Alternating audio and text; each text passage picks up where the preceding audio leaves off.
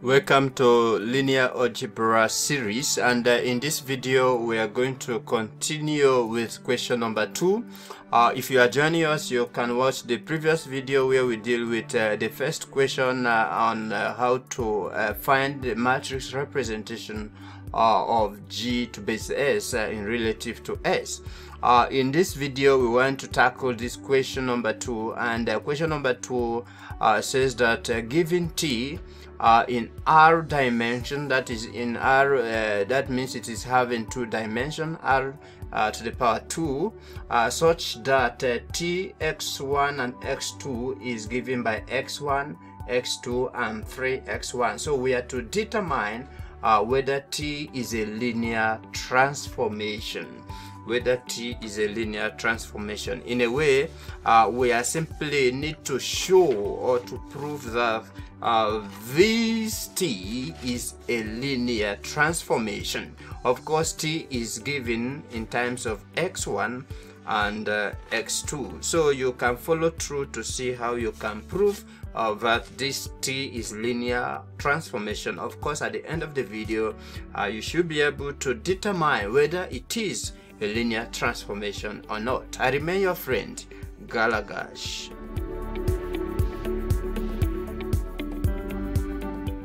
So generally this is the question we are given. Uh, phi as uh, a two dimension that is uh, it is represented in the form of x1 and x2 which is equal to x1 plus x2 plus 3x1 so we are to determine whether t is a linear transformation. Uh, so uh, determining whether t is a linear transformation since we have uh,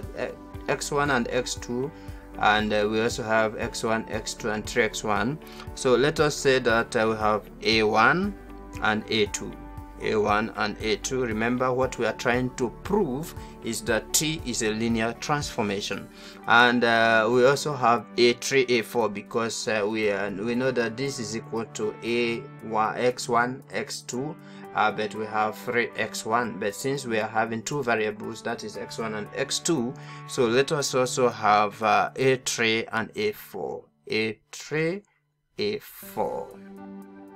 a3 a4 good and this a1 a2 a3 a4 is a member uh, this time we say that it is a member of R2. Uh, this is where pure mathematics it comes in in linear algebra, trying to prove uh, that a function is true, or say uh, proving that a particular theorem uh, is actually true or that it exists. So this uh, shows that it is a member of R2 and if it is a member of R2 then we can say that T uh, which we are trying to prove as a linear combination when we put into A1 and then uh, A2 we put it into A1 and A2 uh, plus T into A3 and A4 a3 and a4 if you do this you will end up with uh, a1 plus a2 uh, then uh, we have uh, 3 uh, a1 3 a1 because we have a1 uh, we have a4 we have a1 we have a2 so we have 3 a1 because remember here we have uh, 3 x1 and this will be added by we'll have a1 uh, let's say that we have a1 a2 a1 a2 and uh, this can be added uh, in form of the basis and add a3 a4 a3 a4 in the form of basis. So that uh, you will have uh, a1 plus a3 uh, plus uh, a2 plus a2 plus now a4 plus a4 then we will have 3 because remember we have 3 here so it will be 3 into uh, a1 plus a3 a1 plus a3 uh, so t t therefore will be uh, let's say that uh, t here uh, just a minute uh, so we are proving this. Uh, here we have a1 plus a2 a 3a1 3a1 plus uh, before this let's get rid of this. Uh, before this let's get rid of this first. Sometimes you can make mistake when you are trying to prove this that's why you have to pay attention to every details. So this is supposed to be plus uh, we have a3 plus a4 a3 plus a4 opening up this as a member a4 uh, and then we still have uh, a3 uh, into 3 a3 into 3 and this will give us now a1 uh, plus a3 plus a2 plus a4 a4 then we will have 3 into a1 plus a3 a3 uh, of course um, this uh, will give us t. We will now have t in terms of a. A1 a2 we have a1 a2 then we have uh, plus a3 a4 a3 a4 and this will give us t in terms of a1 a2 uh, plus a3 plus a4 so that we have t a1 plus a3 then I have a2 plus a4 okay remember our target is to prove that this is a linear combination and uh, we are getting there because uh, if you observe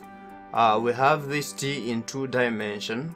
and uh, we've shown that a1 a2 a3 and a4 is a member of this r squared because uh, we technically uh, need to assume that this is a member. And if there are members then we have to work with them in times of t because we are looking at t as linear combinations. So that's why we now multiply each of these terms with t and when we do that we simply have a1 plus a2 plus 3 a1 that we have here and this will also be plus a1 a3 plus a4 because remember here uh, this is the x1 which represented a3 and have x2 which represented a4 that's why we have a3 plus a4 and a3 into 3 a3 into 3 uh, what this simply means is that 3x1 if you multiply that you simply get that. So that you simply have a1 plus a3 plus a2 plus a41 uh, into 3 by a1 by a3 so that we have a1 a2 plus a3 a4 so put t outside so that we use them as linear combination so that we simply get t into a1 plus a3 if a2 and then we have a4 but this is not the end. We have to continue in order to show that indeed this is a linear transformation. So let me get rid of some of these.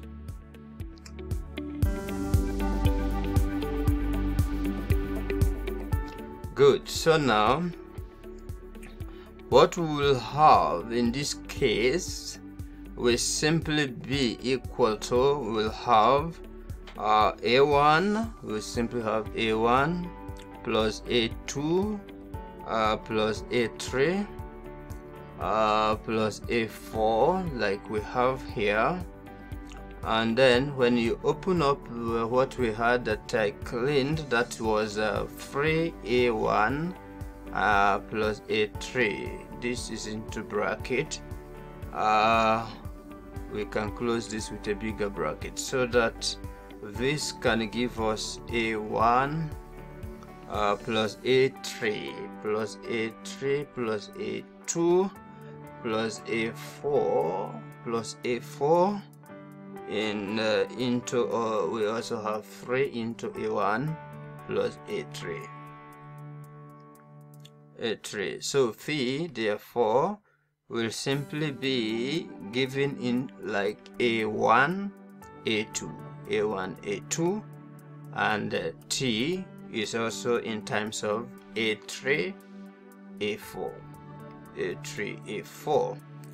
so we can now let we can now let let me change the color. We can let change the color. Let's let uh, x to be a member of r. Then if x is a member of r then we said that uh, uh, introducing k as a constant we can have kt uh, to be a1 and then a2 a1 and then a2 uh, this will imply that uh, k in this case uh, will be given by a1 plus a2 uh, into 3a to 3a so we say that t is going to be is going to be but simply before this for more explanation. Let's have let's have k into this. Give us ka plus k into this will be ka2 it is ka2 k into this will be simply 3 ka1 ka1 so now let's get rid of this and try to summarize. This can give us this will be equal to t into ka into ka and ka2 so what we have shown is that t is a combination of whatever we had in x1 x2 and 3x1 so we can therefore say that t is a linear transformation.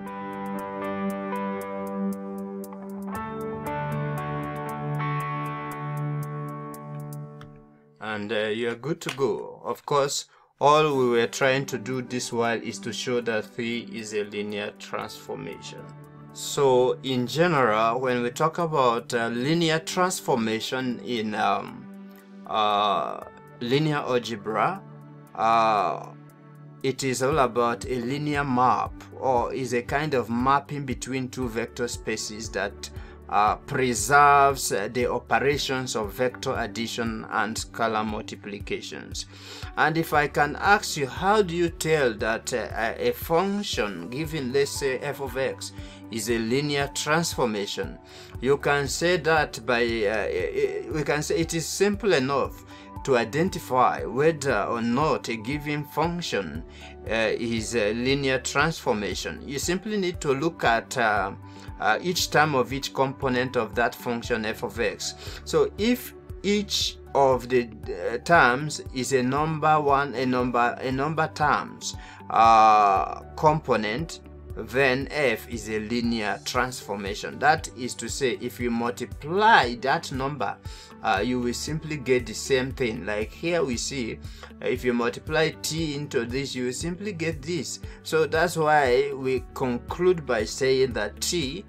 is a linear combination a, a, kind of a linear transformation. So you can watch the video again in order to get the concept and try to follow through in order to see how you can prove this. Uh, this is just like uh, real analysis. Reanalysis is another mathematics that is pure uh, pure math uh,